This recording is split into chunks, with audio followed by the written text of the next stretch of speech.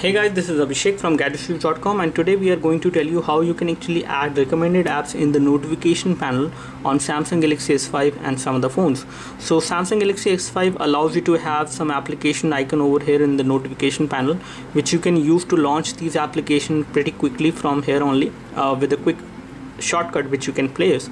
So for this you need to go into settings under settings you need to locate notification panel which will be under settings again. Uh, and under notification panel you have two different options. Either you can actually uh, adjust the location of uh, different things. You can swipe swap the location of uh, different toggles in this case like this. And these are called the active buttons. However when it comes to another thing which is there uh, you can also uh, check this option to have brightness uh, brightness adjustment which is this. You can have this option over here. In case you would like to hide it you can always do this and this will be hidden.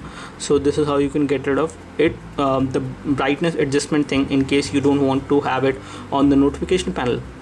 The third thing about which we are talking is the recommended apps. Recommended apps is these shortcuts which will appear on the notification panel whenever you have done something related to these applications or whenever you need these application in case you have launched uh, these application and you are controlling a TV you you will see this one the IR remote application and other things. So this is how they will appear on the notification panel. You can also edit them. So in case you have all these applications which are installed all the third-party application will be listed here.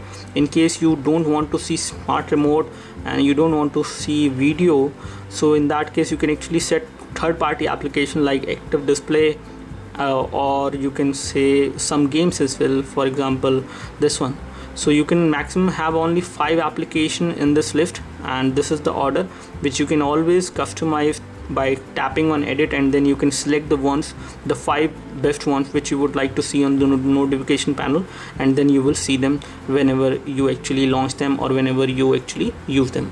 So this is how you will get these uh, shortcuts for different applications for launching them or for using them in the notification panel on Samsung Galaxy S5 on the new TouchWiz UI so that's all from us. Do let me know if you have any specific question for this device. We would love to help you. You can like this video. If this video helped you by clicking the like button below.